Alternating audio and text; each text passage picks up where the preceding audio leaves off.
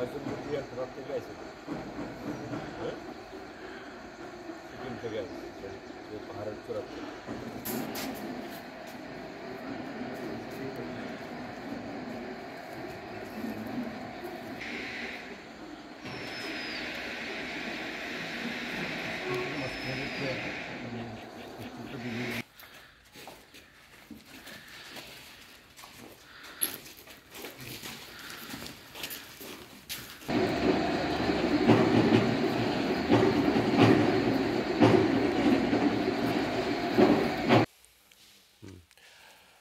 তো আজকে আমার এই সফরের অঙ্গ হিসাবে ফেনী নদীর পাড়ে যে এই এনভায়রনমেন্ট তৈরি করা হচ্ছে, এটা দেখার একটা কর্মসূচি ছিল।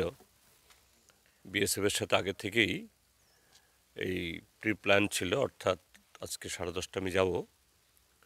কিন্তু আজকে খুব সকালে আমাকে বিএসএফের একজন অফিসার ফোন করেছেন যে গতকাল পশ্চিমবাংলার বনগাঁ বর্ডারে বিএসএফ এবং বিজেপির মধ্যে এটা গোলাগুলি হয়েছে এবং একজন জওয়ান বাংলাদেশের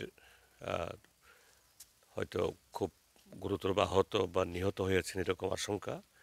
এই কারণে এটা এই সীমান্তে একটা উত্তেজনা আছে এবং বিএসএফের তরফ থেকে বলা হয়েছে যে সীমান্তে আজকে যেন কোনো পাবলিককে অ্যালাউ না করা হয়। তো আমাকে রিকোয়েস্ট করেছেন যে আজকের প্রোগ্রামটা একটু ডেফার করার জন্য। তো আমি আজকে এই প্রোগ্রামটা ড্রপ করেছি। কদিন নেক্সট টাইম যখন আসব, আবার তখন যাব। এবং আমার যাওয়ার উদ্দেশ্য হলেই, আমি যখন গতবার সাবরুমে আসি কাঁঠালছড়ি, আমতলি এলাকা ঘুরছিলাম, এই ইতে ফেন্সিংয়ের পাশ দিয়ে, রাস্তা দিয়ে, তখন ওপারে দেখি বাংলাদেশের দিক থেকে তাদের যে এম্বাংমেন্ট অর্থাৎ নদীর পার, এত দারুণভাবে আদায় করা হয়েছে।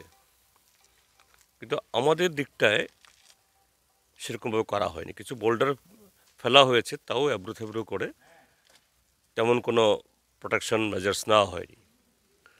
তো আমি তখন বিএসএফ অফিসারকে ডাকলাম, গেটটা খুলুন, একটু দেখি। এটা আমি কর্তৃপক্ষে নজর নেব। তখন বিএসএফের তারাও বললেন হ্যাঁ ঠিক স্যার, যে আমাদের দিকটায় বাংলাদেশের মতো করে কাজ হয়নি।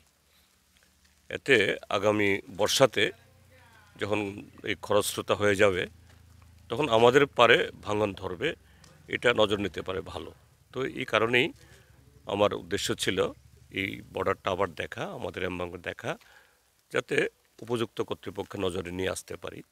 বাংলাদেশের মতো করেই যাতে আমাদের দিকটাও সাজানো হয়, এতে সৌন্দর্যও বাড়বে এবং প্রোটেকশন দুটোই হবে। এই হলো ঘটনা।